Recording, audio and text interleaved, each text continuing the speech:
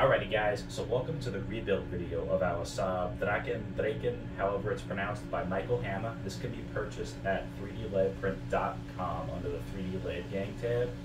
Now, I had built this model previously and the initial maiden flight did not go as planned. I'll throw that in here. Oh wow! Oh my god! Down elevator, go! Shit. But anyways, with any build, you want to make sure that you are in a well ventilated area. I'm right next to this door that leads right outside because this activator is acetone, at least for the Starbond stuff. I love this glue. I'm not sponsored by them in any way. Me and my buddy Jay both use this stuff. It's awesome. And the glue itself does give off fumes too that are pretty they're pretty pungent. They're not that pleasant. So definitely be in a well ventilated area and definitely have some sandpaper handy. I use 180 grit just to rough up the edges of the parts that are being joined together I don't know if it's totally necessary. It's just one of those things that I do to ensure that there's no risk of them popping off.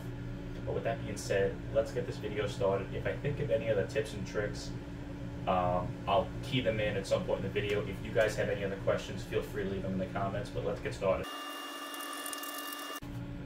I'm not sure how well this is going to come through on the camera, but one of the things I love about when you sand these 3D printed parts is uh, the lead lines, you get this funky little sound that, I don't know. It's time for us to get started with the gluing of the Saab Draken by Draken by Michael Hammer.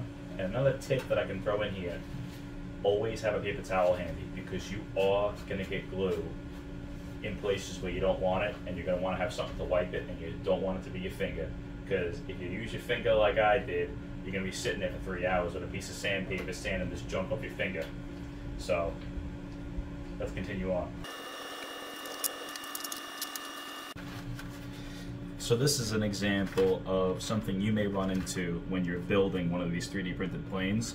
You may need to make some minor adjustments because the file is perfect, but there might be some kind of irregularity that comes with the print or there might just be something that's a slight bit off. I do remember having to do this with the first model that I built. There's a couple little nubs over here you gotta trim off just to make sure that everything all fits together perfect.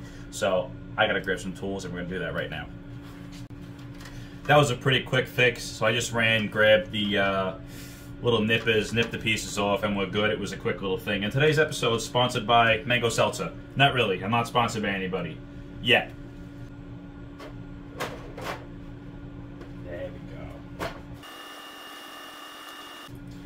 So at this point, I am going to take a break on gluing fuselage pieces together just so as that I have no issues with threading those servo wires through the fuselage into the battery hatch area. I learned that with the first model that I built. When I had everything fully assembled, I was sitting there with a wire snake. It was a pain in the butt. So now we're going to stake the servos through, get that all together, and then we're going to finish assembling the fuselage.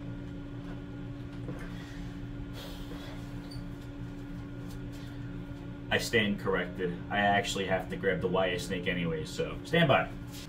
So this is a great tool. It's been pretty invaluable to me. I don't know how well it's going to show up on camera because it's pretty small, but a lot of my models require the use of piano wire, and it comes in these very long segments that more times than not I wind up with leftovers. So I just did a square bend on the end of this.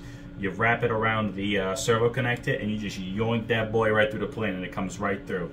Things are charm, man.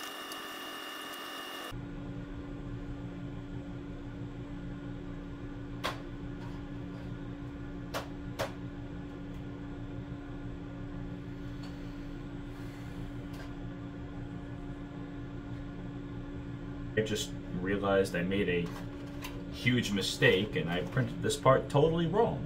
So, uh, I gotta reprint this part now. So, stand by. Okay, so it was 100% a goof up on my part. I put two layers over here when it was supposed to be two layers up here, but I was actually able to just peel it off. It kind of came off really easily, thankfully. But now this guy's kind of just floating in the breeze. So now I just got to make sure that I attach this properly because there's nothing holding it in here. So we're going to improvise. Did I? I printed another piece wrong. Stand by. And we're back in business. That took like two seconds. This is awesome, man. more adjustments. I'll be right back. Now we're back in business, hopefully. Now it's time for us to do this thrust tube for the EDF buoy. And the way this works is you have, so, this was way easier the first time, I promise. Um, there we go. Okay, so this slides over the back of the EDF, and this lines. This lines up with the tube in the part of the fuselage that is behind this, and the EDF slides into the forward part, and there's these three points where you screw right into the um, right into the 3D print actually. So yeah. Side note, also a tip. Um, you can use a screwdriver. I just think it's a pain in the butt.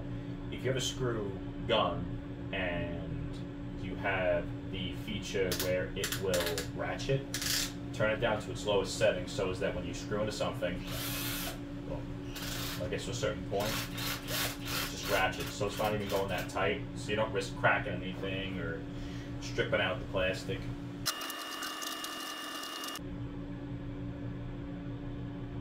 Okay, so just to give you a close-up of what the EDF looks like. EDF is nestled right up there in the front. The very front intake of the EDF is wedged into the 3D print, and the mounting points are right here. You have these four screws, and there's a mount ring around the EDF that's a friction fit with some, I just use some masking tape. That holds that place. And the EDF tube, which is this part right here, which is usually loose. It's just a friction fit as well over the tape. I threw a little bit of uh, CA right here just to tack it on there. Probably don't need it, but I just rather have it not need it. Ready for the next step. Now it's time for the assembly of our battery hatch door thing.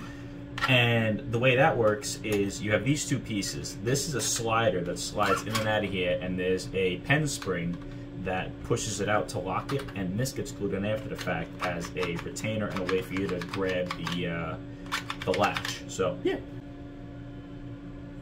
So this is the battery hatch with the uh, pen spring.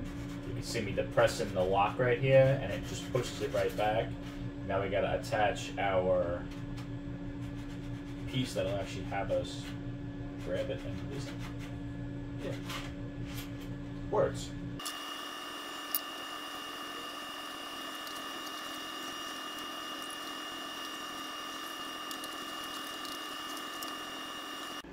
Okay, so my phone died right as I was finishing this thing up, but as it stands right now, this plane is ready to go. All I gotta do is put some Velcro in here, do the ESC, put the uh, push rods on the elevons, and I held off on putting this nose cone on because I want to make sure that this thing is not tail heavy like last time. So if I need to add weight to the nose, I can just slide it right in here and then adjust as necessary. But yeah,